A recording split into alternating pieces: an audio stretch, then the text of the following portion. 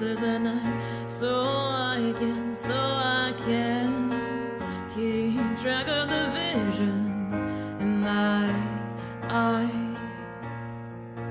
Wow, she's deceiving me. It cuts my security. Has she got control?